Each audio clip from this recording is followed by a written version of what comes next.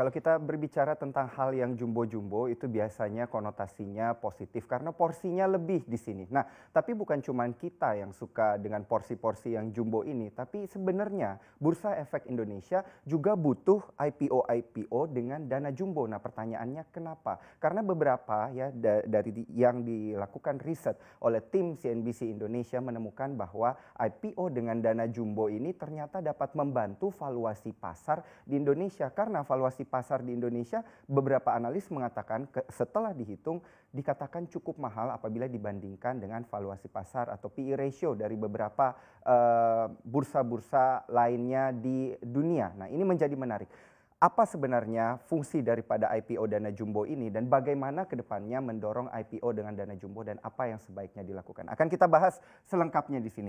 Untuk itu mari kita lihat di sini di mana kalau kita lihat secara landscape dari emiten di Bursa Efek Indonesia per kuartal 1 tahun 2019 di sini saat ini sudah uh, berada tambahan lagi nih pemain 30 emiten untuk kuartal 1 di 2019 jadi totalnya apabila digabungkan dengan yang 2018 jadi 649 di sini. Di mana target di 2019 itu nanti akan IPO katanya sekitar 75 hingga 100 emiten untuk memenuhi target di tahun 2020 yaitu itu seribu emiten. Tetapi ini menjadi tanda tanya sebenarnya yang mau dikejar itu jumlah emitennya atau nilai daripada dana emitennya yang akan di uh, listing di bursa pada akhirnya. Karena sebenarnya inilah yang pada akhirnya menjadi penting untuk membantu PE ratio daripada IHSG sendiri. Nah, ini menjadi menarik. Kalau kita melihat market cap daripada uh, Bursa Efek Indonesia, IHSG hari ini berada uh, terakhir ketika diperdagang,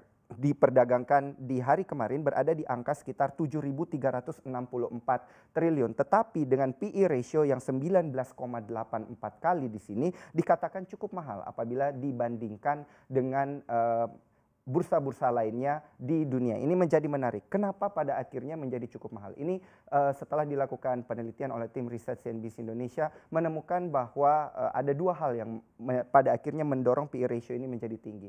Uh, ini mungkin saja di, uh, terjadi karena investor-investor pada akhirnya memilih saham-saham blue chip yang pada uh, yang sudah memiliki reputasi yang baik dan perhitungan yang baik dan lain sebagainya sehingga pada akhirnya investor merasa tidak uh, tidak melihat adanya emiten-emiten baru lainnya yang menjadi menarik untuk uh, berinvestasi di sana. Itu yang pertama dan yang kedua adalah uh, tingginya harga harga daripada uh, sahamnya yang kemudian pertumbuhan harganya ini lebih cepat daripada laba dari setiap emiten. Nah, inilah yang menjadi menarik yang pada akhirnya membuat uh, PE ratio di IHSG ini menjadi tinggi. Nah, inilah datanya kalau kita bandingkan IHSG sendiri berada di angka 19,84 kali. Nomor tiga tertinggi ya sama dengan posisi uh, eh, IHSG di Asia Tenggara uh, nomor tiga. Begitu juga dengan PE ratio-nya ternyata nomor tiga juga. Itu nomor duanya adalah dari uh, eh, KLCI bursa di Malaysia. Dan kemudian yang tertinggi adalah bursa Nifty di India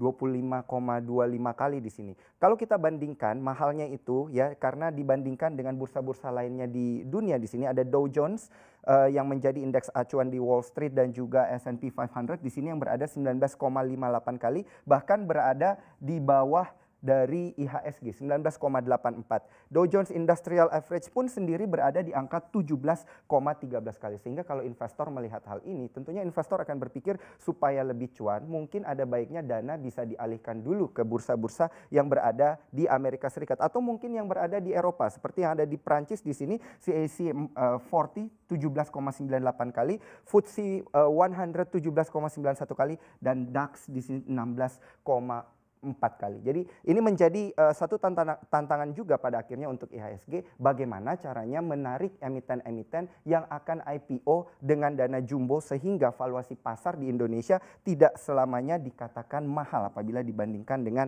emiten uh, dibandingkan dengan bursa-bursa lainnya yang ada di dunia. Nah, inilah tren dana IPO dari tahun 2000 hingga tahun 2019 di sini dapat kita lihat pertumbuhannya yang paling tinggi dengan dana uh, dengan dana jumbo di sini. Kita lihat di tahun 2010 di sini puncaknya yaitu kurang lebih total daripada nilai uh, dana IPO pada saat itu adalah sekitar 29 triliun rupiah. Kemudian pada akhirnya turun di tahun 2019 dan pada akhirnya di 2012 berada di titik terendahnya apabila kita membandingkan uh, per tiga tahun di sini. Kemudian uh, semenjak tahun 2015 sendiri dan 2016 sendiri pun ketika terakhir kali WSBP eh, IPO dengan dana sekitar 5,6 triliun dan dilanjutkan dengan Cikarang Listrindo atau kode emitennya POWR pada saat itu IPO dengan dana 2,4 eh, triliun Semenjak itu pun sudah tidak ada lagi emiten yang pada akhirnya IPO dengan dana di atas 2 triliun. Nah ini menjadi menarik bagaimana pada uh, akhirnya Bursa Efek Indonesia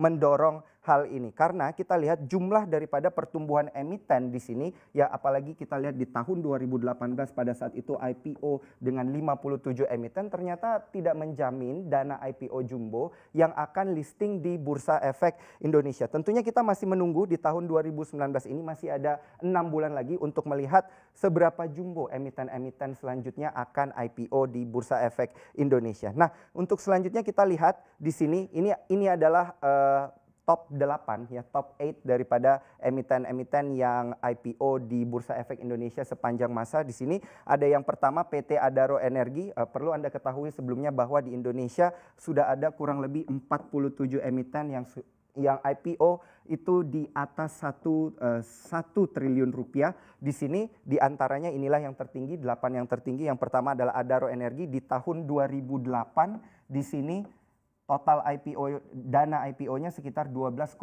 triliun rupiah. Kemudian dilanjutkan lagi dengan Indofood yang pada akhirnya di tahun 2010 yang sudah tadi saya sebutkan mendorong tingginya angka dana IPO di pada tahun itu di tahun 2010 ada Indofood CBP Sukses Makmur di sini 6,2 triliun. Kemudian di tahun yang sama ada Borneo Lumbung Energi 5,1 triliun. Di tahun 2008 di sini 5,5 triliun ada Bayan Resource TBK. Selanjutnya empat yang berikutnya dapat kita lihat Garuda Indonesia yang IPO di tahun 2011 inilah yang membuat uh, tidak terlalu jomplang antara tahun 2010 dan tahun 2011 karena ternyata memang GIAA adalah emiten yang IPO dengan dana tertinggi di tahun 2011 yaitu 4,7 triliun rupiah kemudian diikuti dengan mitra keluarga yang pada akhirnya tahun 2015 di sini yang terakhir kali IPO dengan dana sekitar 4,4 triliun semenjak itu sudah tidak ada lagi di tahun 2016 hingga tahun 2019 uh, IPO dengan dana 4 triliun. Kemudian Bank Rakyat Indonesia sendiri berada di bawah mitra keluarga dana IPO yang